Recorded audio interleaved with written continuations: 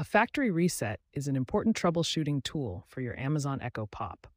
Understanding when and why to use it can help you resolve issues and prepare your device for new ownership. A factory reset returns your Echo Pop to its original factory settings.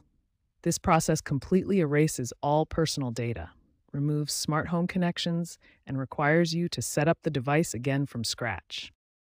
There are three main situations when you should consider factory resetting your Echo Pop.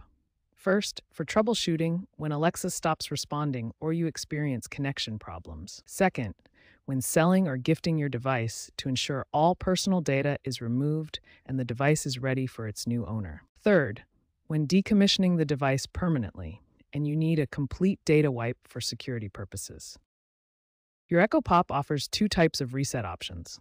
A soft reset keeps your smart home connections and some settings intact, making setup faster. A full factory reset removes absolutely everything, giving you a completely fresh start. This is the most thorough option and what we'll focus on in this guide. For maximum security and troubleshooting effectiveness, we'll show you how to perform a full factory reset using your Echo Pop's physical buttons. Now that you understand when and why to factory reset your Echo Pop, let's move on to the step-by-step process. First, make sure your Echo Pop is plugged in and powered on.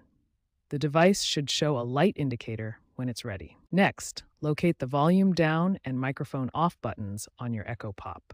These are typically found on the top of the device. Now simultaneously press and hold both the volume down and microphone off buttons. Make sure to press both buttons at exactly the same time. Continue holding both buttons for approximately 25 seconds. This may seem like a long time, but it's important to hold them for the full duration to ensure the reset completes properly. After 25 seconds, you'll see the light bar turn off and then back on, indicating the reset is complete. The device may also announce that it is resetting. Finally, your Echo Pop will enter setup mode, indicated by a flashing orange light. You'll need to set up the device again using the Alexa app on your smartphone.